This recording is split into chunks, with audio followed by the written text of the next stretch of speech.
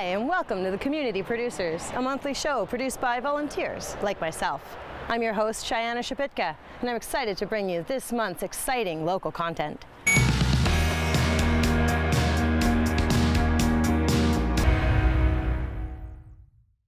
It's taken a few years to happen, but this summer, a long anticipated specialty vehicle hit the streets in Nelson, offering the community a new accessible form of transportation. So we have a new wheelchair accessible van in our fleet now. There's been a lot of excitement in the community about this. There's people coming up to me in the community and talking about how much they're um, they're excited about the vehicle and how it's such a great service to our community. So back in 2013, Nelson Cares was very aware, because of our work on seniors transportation issues, of the need for an accessible van in the community.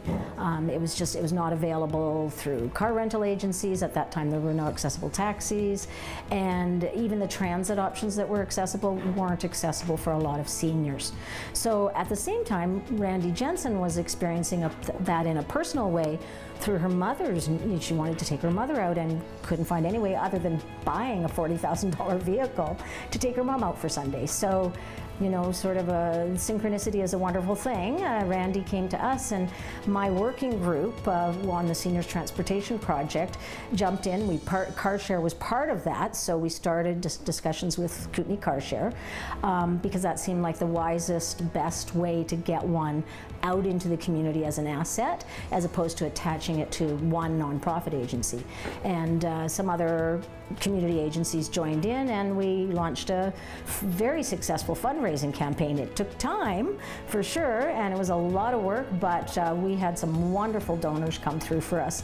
Uh, we got um, uh, Daybreak Rotary made a major donation, uh, Vince DeVito as part of the um, Take Action for Sick Kids uh, money that had been left over. They wanted to see that go to something that would help, because of course, the community isn't just about seniors, it's also about family members who are adults, children, friends, and so on. Um, we also, uh, we applied for a CIP grant in the City of Nelson, RDCK areas A, E, and the Village of Salmo all came through with together a major grant. Um, and then, of course, numerous smaller donations, everything from $20 to $500, just put us over the top. And then Along the way, Nelson Cares came through. We had a surplus van that just needed some repairs, and they donated it to, to Kootenay Car Share for just the cost of repairs. So that really enabled us to say, okay, we're done fundraising, let's move forward and get this van into the community. The wheelchair van has been a big issue around. We in the community here in Nelson have limited accessible transportation services. So the wheelchair van fits a hole that Handy Dart can't fill. Our Handy Dart is our transit accessible transportation for seniors, but our Handy Dart does not leave the community and it only operates on a Monday to Friday daytime basis. So evenings, weekends, any appointments that somebody might have outside of the community, specialist appointments and trail, there is no accessible transportation service to accommodate folks at all. So this is a huge, a huge filler of the gap. The wheelchair wheelchair van provides people the ability to have accessible transportation outside of the community and on those evening and weekends, which seniors, seniors want to participate in more than just medical appointments. They'd like to go to the movies once in a while. They'd like to go to the park on the weekends. And those kinds of social outings aren't factored in very well in our bigger picture of transportation services. So this provides individuals the ability to sign up for a membership with the Kootenay Car Share, have access to that. It took a while, it was three years in the making, but now we have the van and I'm really looking forward to taking my mom down to the Dairy Queen, you know, and maybe down to Lakeside Park and maybe out to the house for a family dinner now and again. And um, Yay, Nelson, thank you. The feedback from the community, like through the service providers that we work with, the folks at City Hall is, this is amazing. I mean, this is, as far as we know, no one has ever done this through a car share organization. And I mean, I think it's the reason that the fundraising campaign was so successful is because people would think about it and think, well, that's kind of a no-brainer. It's like, you know, it's not like one agency is now responsible for insuring it and, you know, maintaining it and hiring drivers by putting it with a car share organization, it just belongs to the community and they just run it like they would any of their vehicles you know, which are sort of self-sustaining because it's a cooperative. It's opening up a lot of doors for people. We, we take for granted access to our community, uh, but it's really something that a lot of folks don't aren't able to participate in. So uh, being able to get out of the house, to reduce that isolation, to participate in your community uh, holds significant change, not just for seniors, but for anybody. Anyone who's a member can use a vehicle, whether in their own wheelchair or not. Of course, we're trying to gear that towards people in wheelchairs because it's a, such a special service that we provide to the community. Um, but anyone who in the community, whether you have a temporary injury or you have um, a lifelong disability, you're able to use a van. And even if not, even if you want to take just a fun ride in the wheelchair van, you can do that as well. Any information about the car share or the fleet or about the wheelchair van you can access on our website, which is carsharecoop.ca. And there's a phone number on there as well and an email, and we'd be happy to help you out any way we can.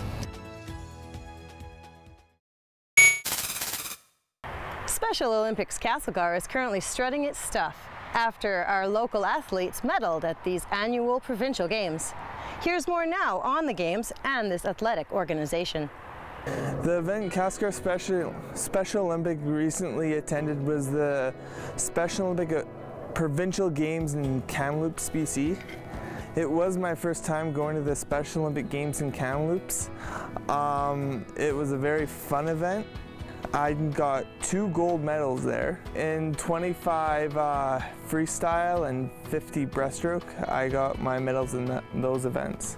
I was pretty astonished when I when I found out that we were second place. I was I was actually sitting down in my seat, still wondering like was were we just called?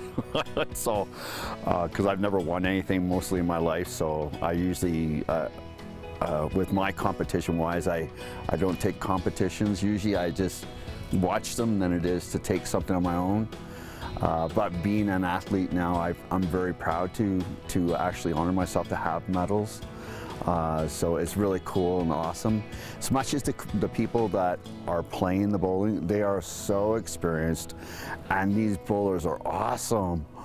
God, it's, it's awesome. And like you got people all around BC joining into one group and just playing it all out and just having a fun time. It was just an awesome afternoon. We ended up with seven athletes going, our bowling team with five bowlers, and two of our swimmers, Chris Paulson and Liam Donnelly, who unfortunately couldn't be here today. Liam took the bronze in a high div, and he took it in his breaststroke. William's a very powerful swimmer, just like Chris.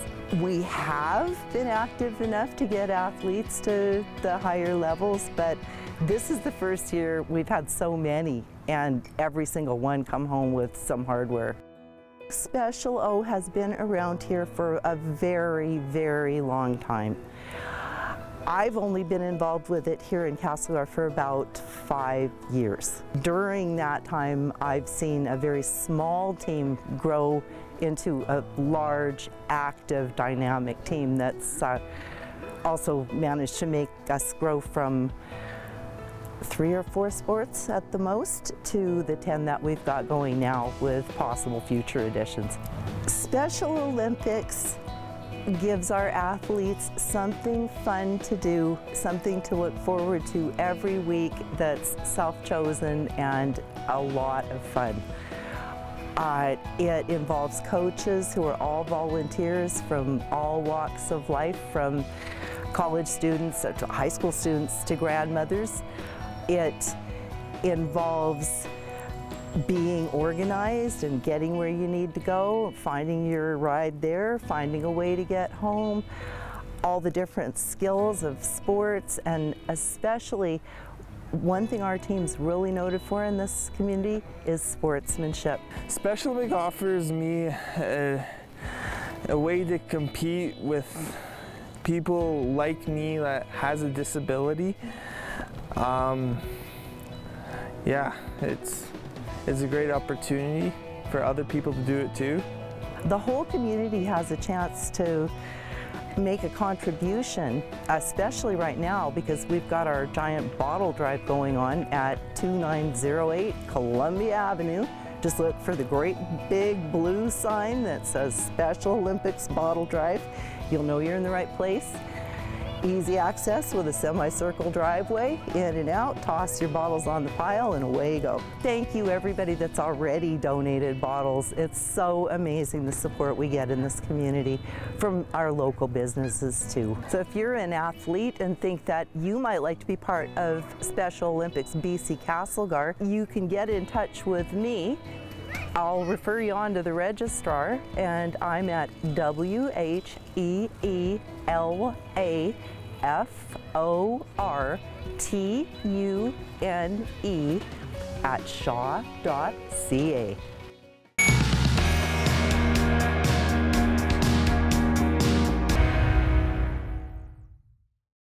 Castlegar is set to play host to a new adventure race at the end of the month. Local organizers of Fear BC are excited to show off the West Kootenay landscape while bringing a new event to the area. Welcome to the outdoor portion of Fear BC is proud to present the West Kootenay's first multidisciplinary adventure race, September 30th, Castlegar, BC. Typically, an adventure race is people getting out in the wilderness experiencing something new. Uh, typically, there's challenges, there's trekking, there's various disciplines, cycling, hiking, uh, sometimes canoeing, paddling, whitewater rafting. As with every adventure race, you have to have something unique to set yourself apart. Lucky enough, we live in the beautiful place that we do. Uh, we have the four elements adventure race. Earth, air, fire, and water. But water doesn't really work into fear. So fire, earth, air, and river. So at some point, you can imagine there's going to be a fire component, an earth component, an air component, and some sort of wet component. Racers never find out what that is till the day of. I think they're funny. I think they're great. It might frustrate some racers, but they're excellent challenges. And that's kind of what sets us apart. What is north on the compass again? How many degrees? 360 or zero. 360 or zero. Okay. In preparation for Fear BC, uh, we're hosting a couple clinics of navigation. Typically, when you come into a region like the West Kootenays here, there's a small group that are great navigators and a lot of people that are like, yeah, I used a compass in high school. So when going out in the woods, it's a, it's a big step. So we offer a host of free navigation clinics leading up to the event. Um, today is one of those days where we're gonna have a group out to use their compass skills after they've been taught. This is a team event, so teams of three, uh, and it can be any combination of teams. We have co-ed teams signed up. We have all girls teams signed up. Actually, an all girls team was the first team to sign up. Challenged another team to go. Uh, we've had people sign up as a single. Hey, can you find me a team? Well, we've got some people that were two, had somebody drop out. They're like, hey, we need somebody. We can put them together. So three person teams. Typically, the next question that follows up is, how, like, do we have to stay together?